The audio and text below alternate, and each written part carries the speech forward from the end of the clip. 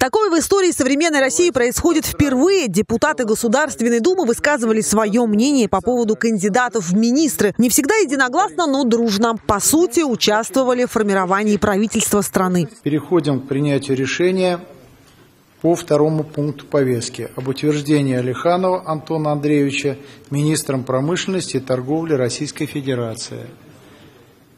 Комитет поддерживает утверждение в должности Просьба проголосовать. Давайте поздравим Антона Андреевича Лиханова с утверждением в должности министра промышленности и торговли. Поздравляем. Антон Алиханов, самый молодой из членов нового правительства, совсем недавно возглавлял Калининградскую область. Еще из новеньких, теперь уже бывший губернатор Хабаровского края Михаил Дегтярев будет руководить Минспортом и обещает народу зрелищ. Зрелищность соревнований должна расти. Это позволит вовлечь миллионы наших граждан в спортивную жизнь страны и в занятия спортом.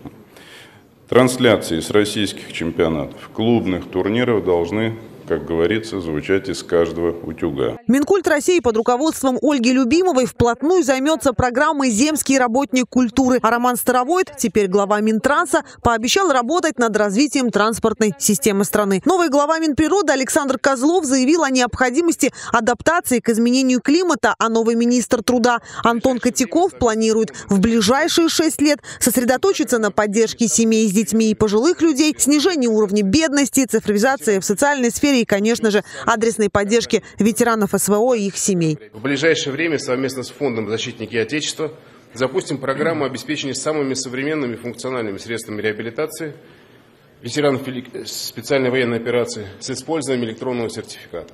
Обеспечим учет социальных показаний при разработке индивидуальных программ реабилитации будем содействовать импортозамещению в этой сфере. Все новички в правительстве – это в основном руководители регионов. Их опыт на местах будет ценным в реализации национальных проектов, которые направлены на улучшение жизни людей. Очень рассчитываю на то, что они применят все свои лучшие э, навыки, все свои э, наработки в регионах Российской Федерации для того, чтобы решать задачи, стоящие перед, стоящие перед ними на, уровне федерального правительства э, с максимальным эффектом. В то же время рассчитываю на то, что и руководство правительства, э, и э, все коллеги на, на параллельных треках работы окажут им необходимую помощь для того, чтобы они действовали успешно.